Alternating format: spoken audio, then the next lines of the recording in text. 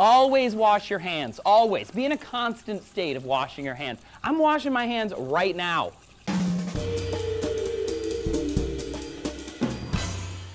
Hey everybody, Trace here for DNews. Simple question. Do you wash your hands after using a public bathroom? Because if you're like the American adults surveyed in 2010, 96% of you said yes, which means 6% of you are liars. That's according to a 2013 Michigan State study published in the Journal of Environmental Health. Go green!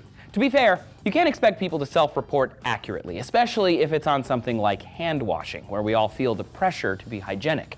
And a 90% wash rate is still pretty darn spiffy, but the bigger question is, how many people wash their hands correctly? That's the real answer that the Michigan State study was searching for. To find it, they had a dozen research assistants post up in bathrooms across Lansing and take notes. The assistants were trained in the art of stealth so as to not draw suspicion. They watched over 3,700 bathroom goers and organized their results by gender, age, time of day, bathroom cleanliness, hand dryer availability, time spent washing, sink type, pretty much every variable you can think of. According to their findings, 10% of people didn't wash their hands, 23% of people just wet their hands and called it a day, and 67% of people used soap. But here's the thing.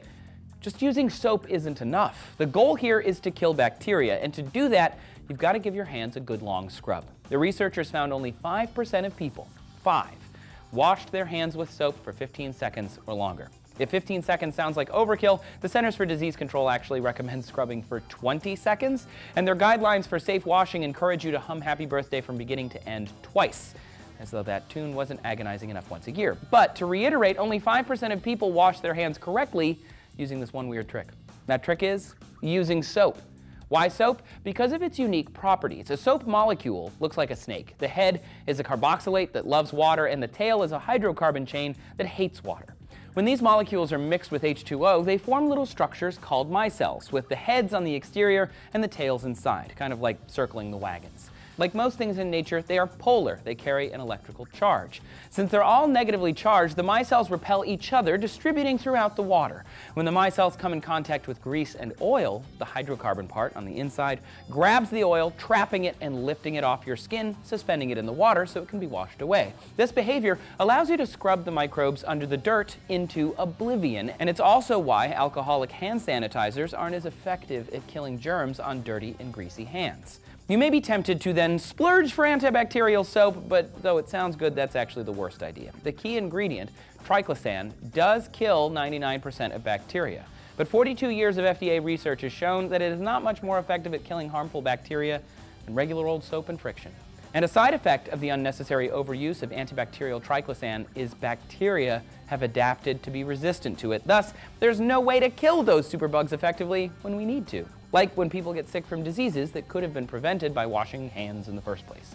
31% of diarrhea cases and 21% of respiratory illnesses like colds can be avoided with just some scrubbing. See, washing your hands is a win against harmful bacteria on every level, and it feels good. Just remember, stick to regular soap, give your hands a nice long scrub, and don't forget to get under the fingernails so most of the microbes live. Now, if you want to tell people how to wash their hands more effectively, you could probably start a website, and No Domain Extension will help you tell your story like a .com or .net domain name. And because you watch DNews, you can get 15% off Domain.com's names and web hosting by using the code DNews when you check out.